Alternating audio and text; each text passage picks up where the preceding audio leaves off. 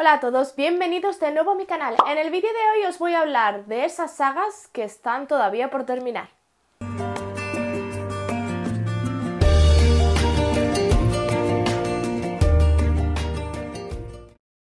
Muy común que empecemos a leer sagas y que nos enganchemos a ellas. Eh, cuando leemos la primera parte, pues normalmente si nos gusta estamos deseando poder leer la segunda y la tercera y lo que venga. ¿Qué pasa? Pues que hay sagas que se hacen esperar bastante y bastante, con bastante me refiero a muchos años en algunos casos. La primera saga de la que os voy a hablar es la famosísima saga de Patrick Rufus que empezó con El nombre del viento y continuó con El temor de un hombre sabio. ¿Qué pasa? Que El temor de un hombre sabio salió a la venta hace 6 años ya y todavía estamos esperando pues la tercera parte de esta saga. Y Patrick Rufus pues parece ser que nos está dando demasiada prisa. Parece ser que la tercera parte se va a llamar La Puerta de Piedra y que ya tenemos el borrador escrito. Pero ¿qué pasa? Que Patrick Rufus es un escritor que se caracteriza por ser muy perfeccionista y necesita revisarlo una y otra vez, una y otra vez. Necesita que gente de su confianza lea la novela, que le aconseje y entonces está todo, todo, el tiempo haciendo cambios. Entonces se hace interminable la publicación de la novela. Después de publicar la segunda parte, El temor de un hombre sabio, eh, Patrick Rufus ha escrito pequeñas novelas secundarias en las que nos cuenta la historia de personajes secundarios. La primera fue La música del silencio, que nos contaba la historia de Auri. A mí este libro eh, me pareció bastante aburrido, me decepcionó muchísimo porque no, no avanza en ningún momento la historia, no nos cuenta una historia en sí, ni tampoco interesante, solamente nos cuenta pues eh, cómo es el día a día y la vida de Auri en, su cueva, en esos eh, túneles en los que vive, y a mí no me pareció nada interesante. También escribió El árbol del relámpago, que nos cuenta la historia de Bart, el aprendiz de Quoth, que es el protagonista de la historia, y tiene previsto publicar una tercera que nos contará la historia de Laniel, la rejuvenecida. ¿Qué pasa? Que parece ser que hasta que esta tercera parte no se publique de estas mini, historias no va a llegar la tercera parte de, la saga principal y esto la verdad es que molesta un poco. No hay fecha prevista para la publicación. Eh, ya hace, ya os he dicho, seis años desde la publicación del Temor de un Hombre Sabio y los fans están impacientando. Si es verdad que las historias merecen mucho la pena, que están magníficamente bien escritas y la historia es súper interesante, pero no creo que sea necesario esperar tantísimo tiempo para una tercera parte. Por supuestísimo, en este vídeo no podía faltar Canción de Hielo y Fuego de George R.R. R. Martin, que empezó con Juego de Tronos, continuó con Choque de Reyes, luego Tormenta de Espadas, Festín de Cuervos y por último Danza de Dragones, que salió a la venta Danza de Dragones en 2011. O sea, imaginaos la de años que hace que estamos esperando el sexto libro que es Vientos de Invierno.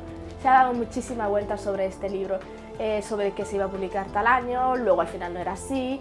Y ahora lo último que tenemos, las últimas noticias, es que se va a publicar el próximo año, o sea, en 2018. Yo todavía no me lo creo. Porque además el autor asegura que va a escribir una nueva novela en la que contará eh, la historia de Poniente. Se llamará Fuego y Sangre y bueno, nos contará la historia de cómo los Targaryen llegaron al poder y demás. Nos contará de verdad esa historia de la danza, de la conocida danza de dragones.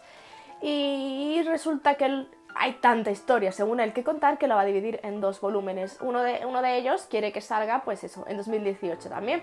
Y el otro pues no está todavía ni siquiera escrito. Entonces, se supone que en 2018 va a salir Vientos de invierno y también va a salir la primera parte de, esta nueva, de este nuevo libro de Fuego y Sangre.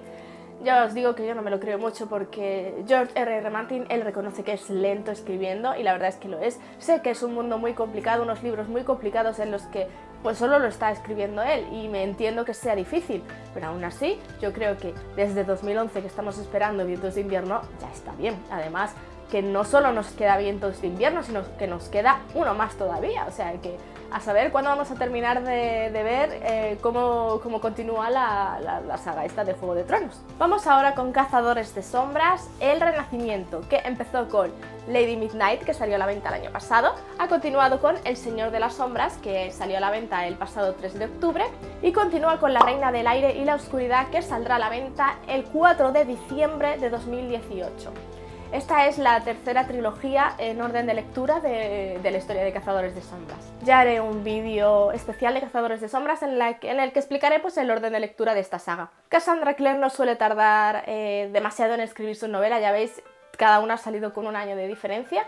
así que está bastante bien. No nos podemos quejar los fans de Cazadores de Sombras porque además eh, no nos decepciona la calidad de, sus novelas, nos sigue gustando igual y ya os digo, es que no hace falta eh, esperar tanto para escribir una novela. Cassandra Clare es un buen ejemplo de ello. Y por último, otra saga que estoy esperando con ganas es la que empezó con Una llama entre cenizas, continuó con Una antorcha en las tinieblas y su tercera parte, que todavía no tiene título en español pero sí en inglés, que se titula eh, eh, A Rupert at the Gates, tiene prevista su publicación para abril del año que viene.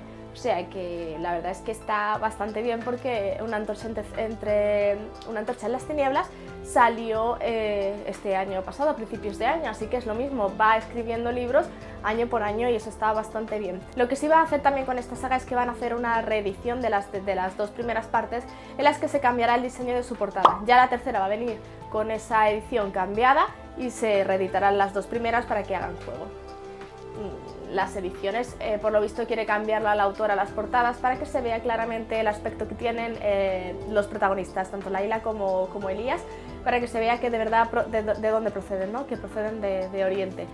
En fin, bueno, no creo que sean necesarias las reediciones. Bueno, sí, las portadas las he visto y son más bonitas que, que las originales que, salieron, pero bueno, que tampoco es necesario. El caso es que la tercera parte saldrá en abril, o sea, queda poquito, y que probablemente no termine ahí la saga, no termine en una trilogía, sea eh, por lo menos, por lo menos una tetralogía. Así que bueno, ya veremos, a ver qué tal. Y hasta aquí el vídeo de esta semana, espero que os haya gustado. Contadme qué sagas estáis esperando que salgan sus siguientes partes y llevan mucho, mucho tiempo sin, sin salir a ver si por ahí se me ha pasado alguna y para ver qué es lo que estáis esperando con ganas. Gracias por estar ahí, nos vemos el próximo miércoles y ya sabéis, no dejéis de leer.